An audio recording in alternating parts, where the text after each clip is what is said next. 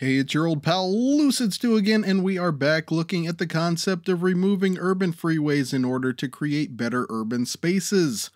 We started in Miami, but since then we've started working down the list of most populated US metros.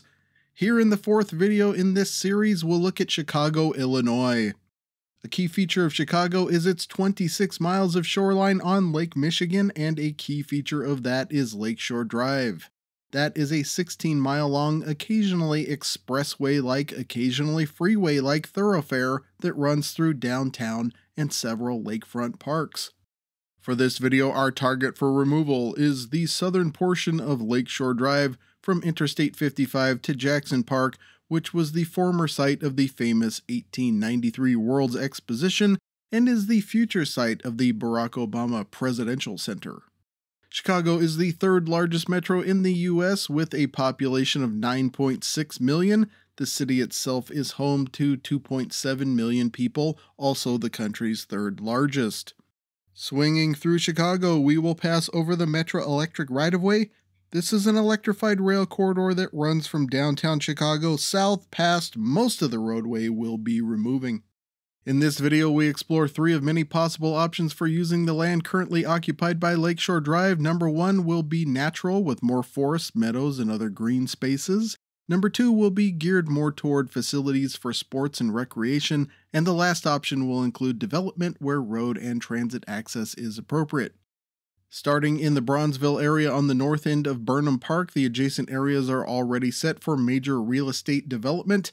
Here I have a lakefront forest or even more development. The interchange at the 31st Street Harbor and Beach provides room for large facilities like soccer fields.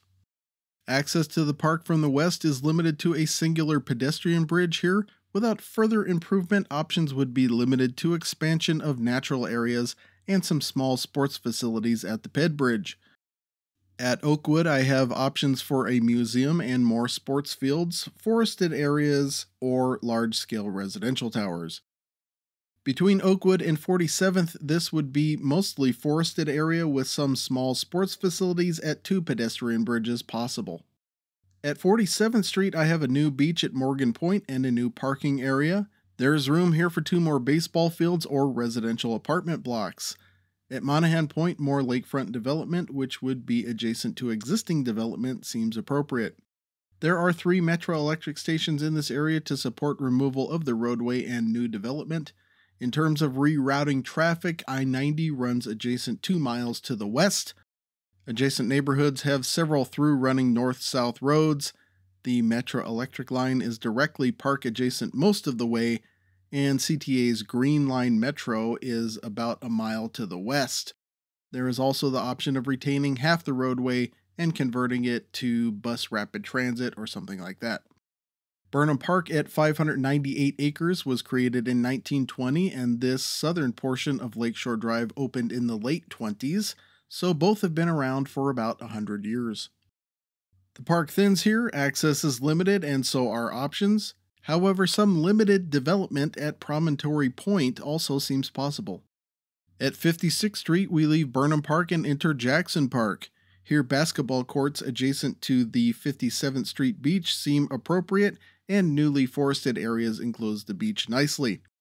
At the 59th Street Harbor, limited access indicates that forested or open space is most appropriate. Thanks to two beaches in the area, beach expansion is not necessary. As we reach the end of Lake Shore Drive, there is one more opportunity for lakefront development at Hayes Drive and the 63rd Street Beach. So, what do you think of these options? Should Chicago free this part of its lakefront from roads in favor of forested green space, sports and recreation development, or maybe for lakefront residential? Or maybe it should just remain the way it is. Let me know what you think in the comments. Plenty more videos to come in this series. Up next is the number 4 Metro, and that means Dallas Fort Worth. Lots of ripe and juicy targets there. If you'd like to see a short portion of freeway removed where you live, let me know and maybe you'll see it happen. But that's all for now. Until next time, I'll see you on that big, beautiful freeway.